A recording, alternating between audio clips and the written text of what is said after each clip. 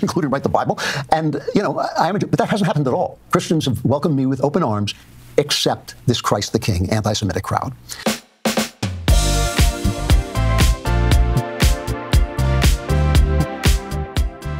So, what has taken place now, okay? And Candace has found herself once again at the center of all of these things. And uh, what's this guy's name? Andrew Curran. He also works for Daily Wire. He came out and this is what he had to say, okay?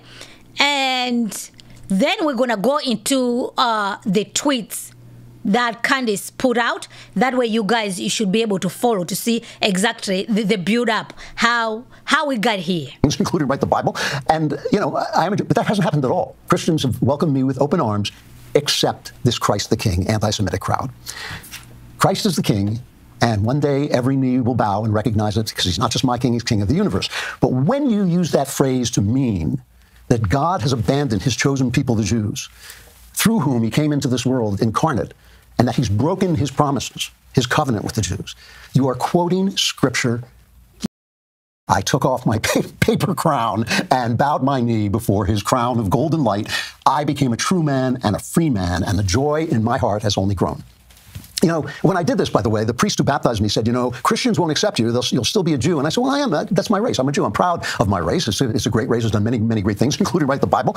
And, you know, I am a Jew. But that hasn't happened at all. Christians have welcomed me with open arms, except this Christ the King anti Semitic crowd.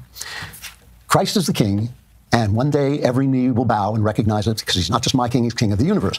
But when you use that phrase to mean that God has abandoned his chosen people, the Jews, through whom he came into this world incarnate, and that he's broken his promises, his covenant with the Jews.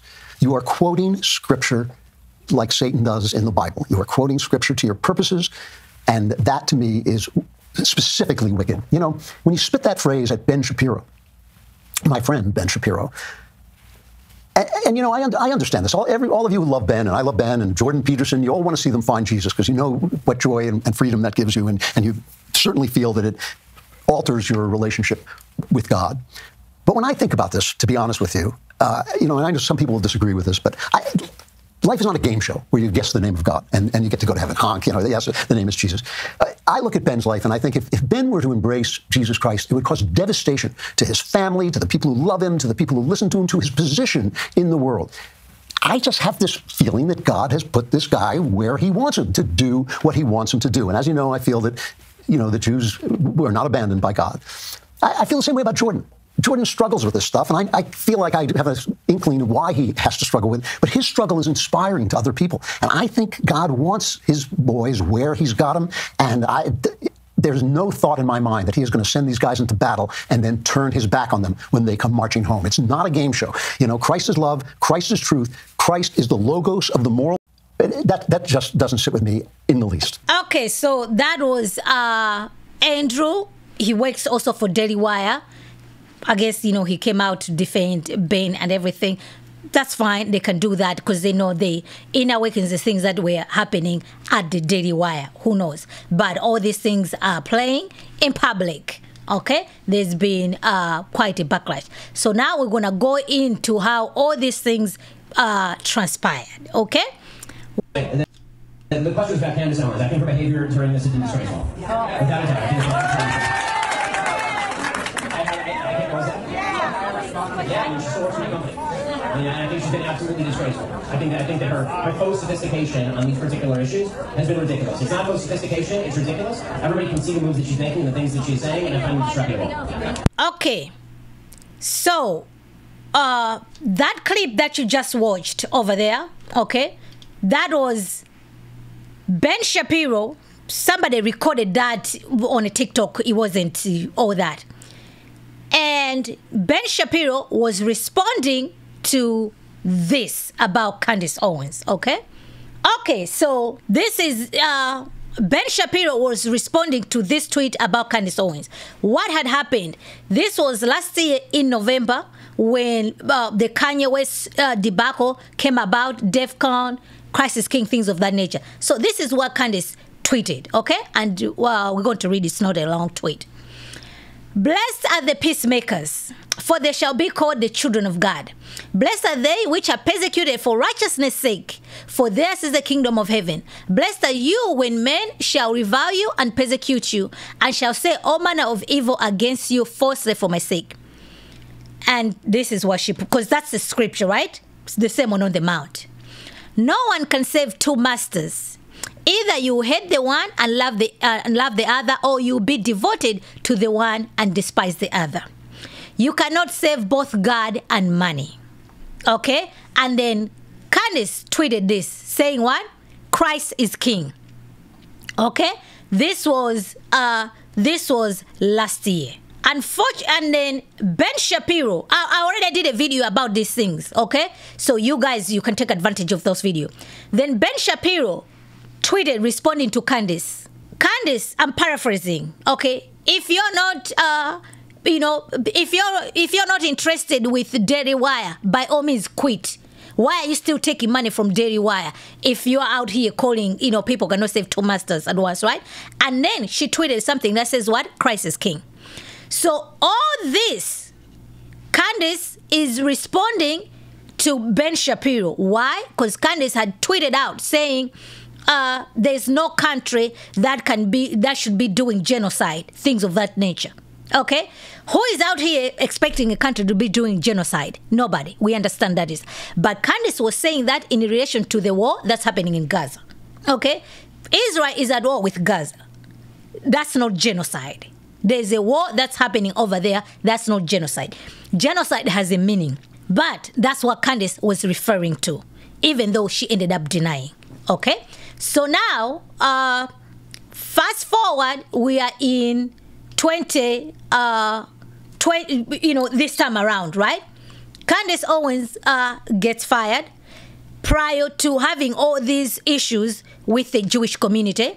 And mind you, during all that time, uh, she hosted this guy. I already did a video about him, Feinstein something. So controversial people, even within the Jewish community.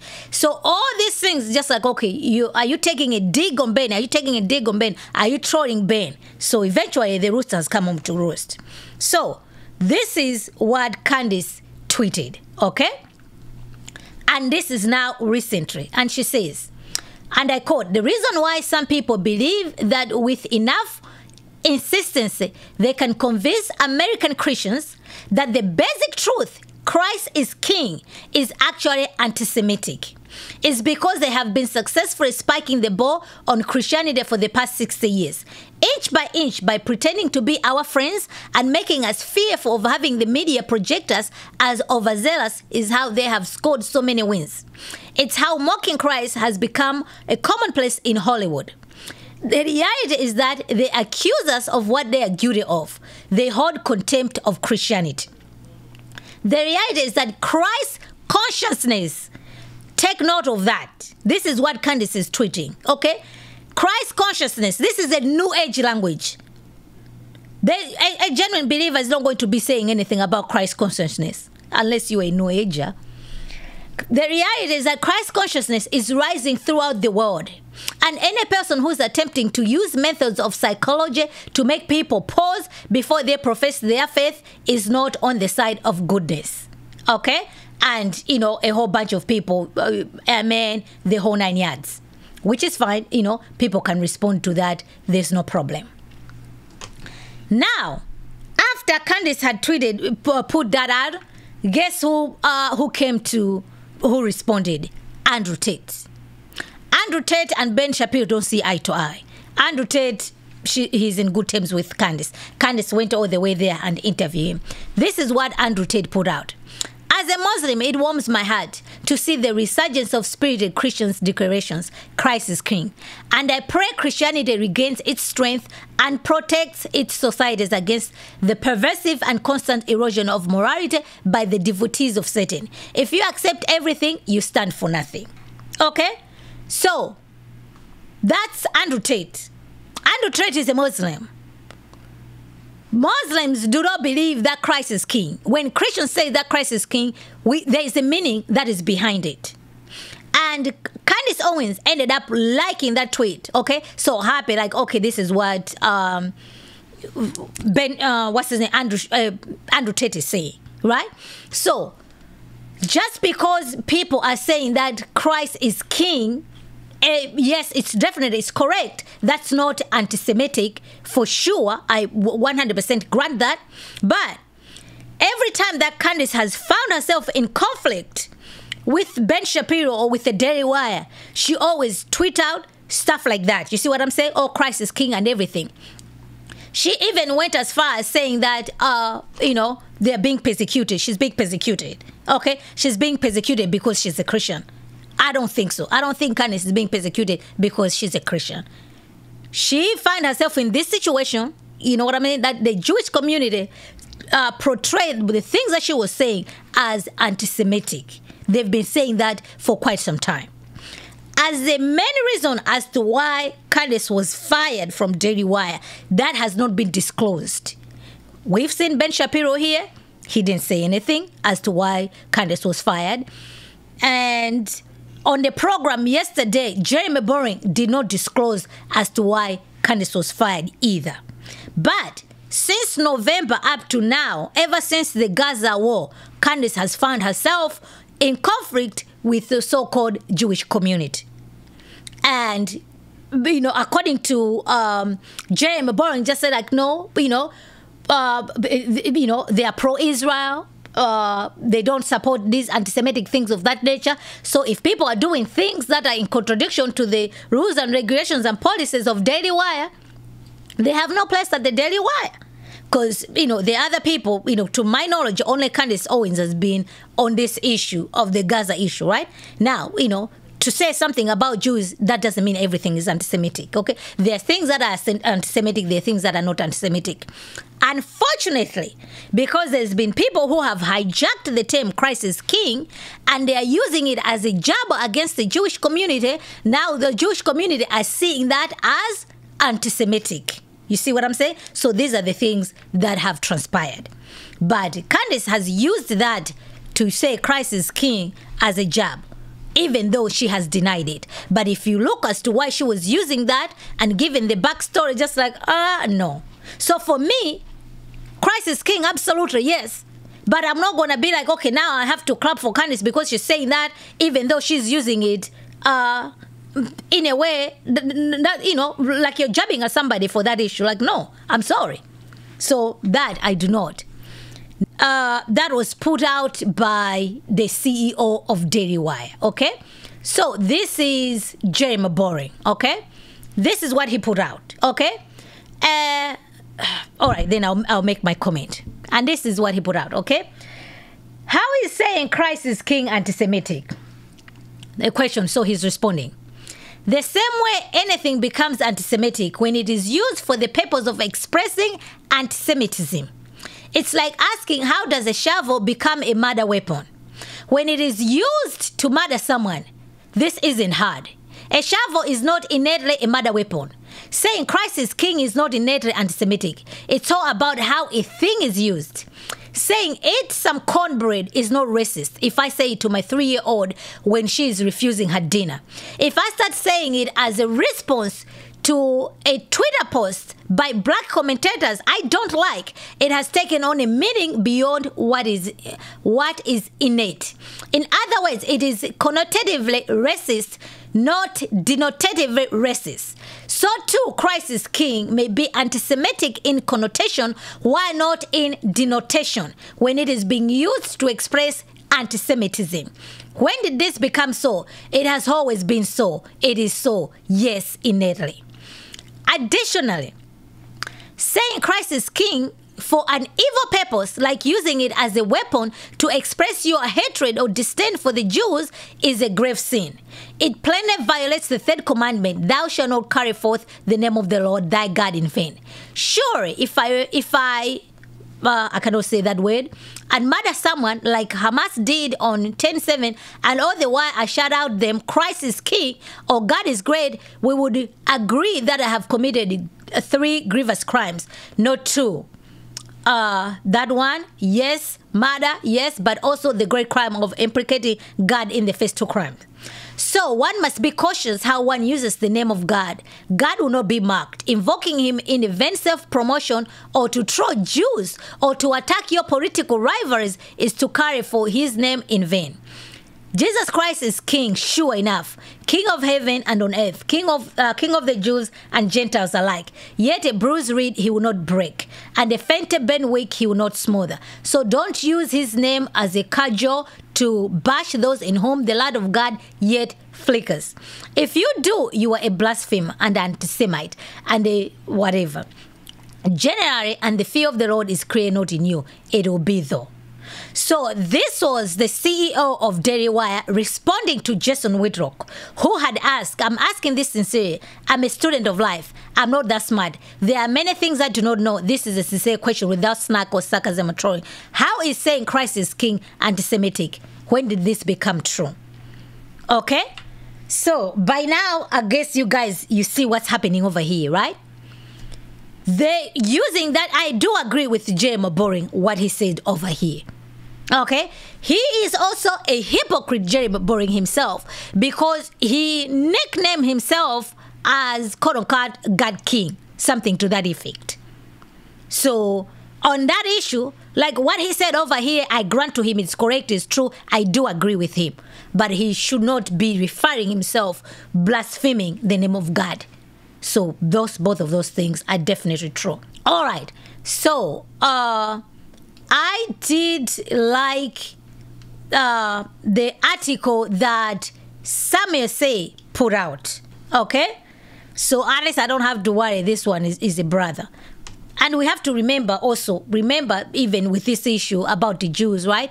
There's different eschatology that Christians do have that disagree. So depending how you have your eschatology, you will have a different placement where you put Israel and the Jewish people and you know things of that nature. So those things they also do uh, get in the way.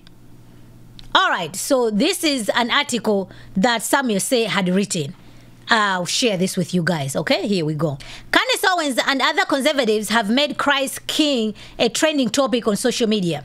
But like Pontius Pilate, who wrote an inscription saying, Jesus of Nazareth, the King of the Jews, on Jesus' cross, they are not sincere. They are mocking Jesus and the Jews. However, for Christians, Christ is King is a theological and political statement about Jesus, divine identity and supreme authority over all creation, especially on Palm Sunday, a celebration of the day Jesus triumphantly entered Jerusalem days before the crucifixion. So, for sincere Christians, Christ is King is about our love for Jesus. But for some Christless conservatives, it's about their hatred for Jews. Christ is King is trending on social media because after the Daily Wire ended their relationship with Candace Owens, Andrew Klavan suggested her use of the phrase is anti Semitic. Though some religious Jews say otherwise, Christ is King isn't anti Semitic. It's the truth. The truth isn't anti Semitic. Since the Bible says Christ is King, people who say it's anti Semitic to say Christ is King are accusing God of anti Semitism. However, like Pontius Pilate, when some conservatives say Christ is king, they are attempting to give him a crown of thorns. Candace Owens joined Twitter in 2017, but the first time she tweeted Christ is king was in November 2023. Bingo, bingo, bingo, bingo. And guess what was happening in 2023? That was a tweet that I shared with you when she got into it with Ben Shapiro. Now, all of a sudden, she's saying that Christ is king. That's the problem, okay? And I continue, okay? Uh, uh, okay, Christ is King was in November 2023 in response to Ben Shapiro's criticism of her anti Semitic words after Hamas terrorist attack against Israel in October. She has since successfully made Christ is King a slogan for anti Semitic people. Anti Semitic social media personalities like Sneako tweeted, Christ is King. Sneako is a Muslim. He doesn't believe Christ is King. He's just mocking Jesus and the Jews. Andrew Tate, also a Muslim, said, As a Muslim, it was my heart to see the resurgence of spirited Christian declarations Christ is King. One comment on Candace Owens' recent tweet said, I'm not even a Christian, but them saying I can't say it makes. Um, no, I'm, I'm not even a Christian, but them saying I can't say it makes me want to say uh, Christ is King.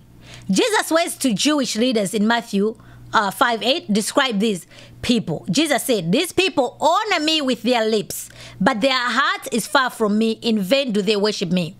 Their social media posts are not sincere. They do not believe Christ is king. They honor Jesus with their tweets, but their hearts are far from him. That is why they are using his name and titles in vain. If we do not live as though Jesus is Lord, then we do not sincerely believe he's king. If we do not obey him as Lord, then we do not save him as king. It's evil to use Jesus' name and title in vain to mock anyone, but it's especially evil to use his name in vain to mock his ethnic people. In Romans 11, the Apostle Paul says, Gentile believers shouldn't be arrogant towards Jews because of their unbelief, especially since their unbelief is part of God's redemptive plan. Particularly in Romans 11 18, he said, Do not be arrogant toward the branches. If you are if you are, remember, it is not you who support the root, but the root that supports you. Meaning, we shouldn't be anti Semitic. If it wasn't for Jews, we Gentiles wouldn't be saved. The prophets are Jews, the apostles are Jews. And as the Apostle Paul says in Romans 7 16, the deliverer will come from Zion. That deliverer is Jesus. Therefore, it's shameful for Gentile believers to be arrogant towards Jews. However, it's especially pathetic for Christless Gentiles to be arrogant towards them.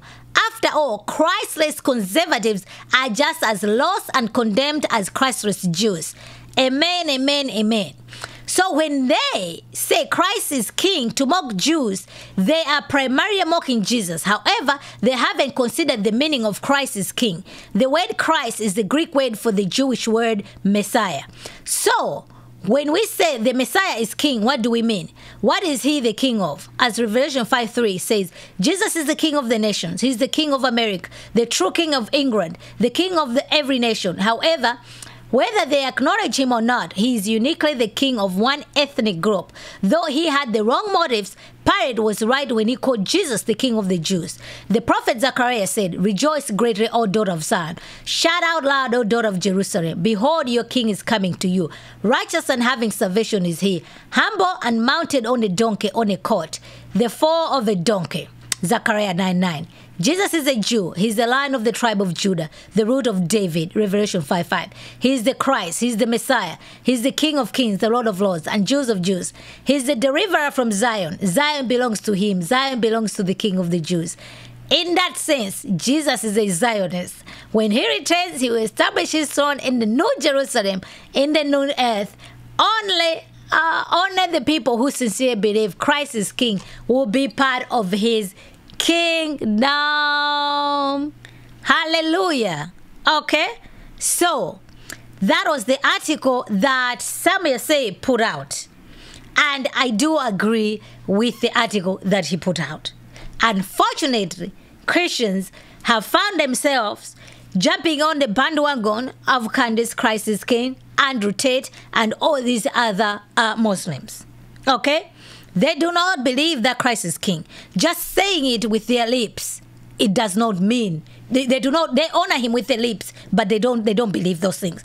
So this is similar to the saying. Remember when uh, you know, it's this issue. You know what I'm saying? Like, you know, Black Lives Matter, right? When people like, okay, Black Lives Matter, okay, like, why should I say that? Like, you know, it creates this issue, you know, within the community and everything else. So I'm afraid that this term, Christ is King, is also creating that thing. That shouldn't be. Okay? Uh, people died to say uh, Jesus is King in the early church, right? Because Caesar is king, right? Kaisar Kyrios. People died just to say uh, Jesus is king. So why should we be out here lose the term Christ is king for people like Andrew Tate and the likes? Just because they want to dunk on Ben Shapiro and whatever and the Jewish people. For what reason? For what purpose? All of them, Andrew Tate, uh, Ben Shapiro, all these guys, we want them to bow the, the, the knee and to truly profess uh, Jesus is king. Jesus is king. So that's just how I am seeing it. Okay. Uh, Philippians 1 15. Okay. Some indeed preach some indeed preach Christ from envy and rivalry, but others from goodwill. The latter do it out of love, knowing that I'm put here for the defense of the gospel.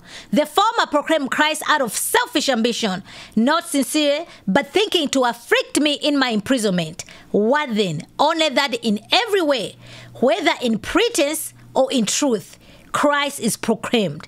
And in that I rejoice. All right. So that was uh, Apostle Paul, right? Other people were doing it as a job. You know what I'm saying? But for him, it was just like, okay, I'm standing on the truth over here. Some do it for rivalry, whatsoever. So these things do happen. It happened during that time. So other people were just doing it or whatsoever. You know what I'm saying? So if somebody ends up hearing uh, uh, Christ is King and they bow the knee, that used for them to search what it means Christ is King, that's a good thing. But us as believers, us as Christians, we cannot be purposefully drawing a crooked, uh, a crooked line, searching for crooked sticks, just because God can draw a straight line with a crooked stick. Our means, our end must be godly. You see what I'm saying? So if a Muslim is out there is saying Christ is king in a mockery way, God can still redeem that. God can still use that. But me as a believer, as a Christian, I don't need to be jabbing at Ben Shapiro, rah, rah, rah, Christ is king. You see what I'm saying? In a way, like, no. So there's a way to use that phrase as a rallying cry, but there's a way to use that phrase also in a way that's ungodly. So other Christians have found themselves jumping on this issue to be saying these things. So it has proven that Candace Owen has been a dead wire for years. And the, the, the, time that she was to proclaim Christ is King is when she got into it with Ben Shapiro. While all the while, while she was at, at Daily Wire, she was professing to be a Christian. And now she's saying that she's being, uh, uh, saying like, oh, you know, Christians are being persecuted, this, that, and the third. So I personally do not buy it. So on that, we call Candace to, you know, do not use the name in vain, okay? Uh, you know, do it well. So, yes, whatever the issues that transpired at uh, Wire, be that as it may, uh, you know, we don't have just to, uh, you know, give in. You know what I'm saying? She, you know, she has a right to talk about things. She has a right to defend herself. She has a right to do those things. But we cannot just pretend to be hiding uh, behind we cannot be hiding behind quote unquote crisis king. I don't think it's fair. This is also one of the uh, tweet that she had put out. Hold on, guys. Okay, these are some of the things, you know, she can say whatever she's on. My crime is that I do not believe that American taxpayers should have to pay for Israel wars or the wars of uh, other countries. I'll not change my mind. So the question is, what will you do to me next? The world is watching. Okay, so it's just like, you know, that's fine. That's what you think uh, people can have different uh, teams, right? But you know, there is a geopolitical things that do go on, okay? And it is what it is. This is Candace right here, okay? And she's saying this this is a cute attempt to rewrite history after you try to cancel the phrase. But let's just recap what happened here for the record before you move on to trying to gaslight Christians. Okay? Absolutely no one shouted Christ is King at a Jew. Rather, what happened was um, rather, what happened was that a group of nasty people tried to spearhead a PR campaign behind the scenes to smear me as anti-Semitic when it was announced that I parted ways with a Daily Wire. As proof of this, it was offered up that I tweeted Crisis King last November with ADL and Andrew Klavan. So all these things is just coming home to roast for her. But she went on to to and you see where she is now. No weapon formed against me shall prosper. Okay, this is uh this is the Sarah Jakes things over here. You know, I'm like to me, you just can't be. If you have an issue, deal with the issue. Okay. And obviously, no weapon formed against me shall prosper. Well, I'm not going to go to the idea just taking the scripture out, out in vain over here. Just because you're having a disagreement with somebody, come on guys do we even have to to to exegete this text now everybody somebody disagrees with you no no weapon formed makes shall, shall prosper christians don't use scriptures this way Okay, so I did put out over here. Why do you say the phrase when you're in conflict? How come you never use the phrase in the absence of conflict? Just saying the phrase is pointless. Catch your is ways. Real believers don't use scriptures in, in vain. Contentiousness is not the fruit of the Spirit. Okay, so I, for one, I am not buying it. If somebody is attacking you, deal with the situation. You just can't be, oh, no weapon formed me, uh, against me shall, shall shall prosper. Okay, remember, just like, okay. And somebody put out and said, the Skiv, uh, sons of Sceva, they were out there casting whatever demons, right? Pretending, huh? And the demons came and says, like, Paul, I know. Jesus, I know. But who are you? Even the devils are sons of Sceva, and they ran out of there naked. Why? Because they were just throwing the name of Jesus, using it for, uh, for, uh, for, for their own means. So right now, just because these are the things that Candace is saying, right? As true as they may be, we want to go deeper than that issue. Okay, we want to go deeper than that issue. Okay, but I think uh, I have prosecuted the case. All right, guys, that is all that I had for you guys today. I hope you find this to be informative. Be sure to follow me on Instagram, Twitter, and Facebook. And don't forget to subscribe to my channel. Until next time, remember to be in the know. Thank you.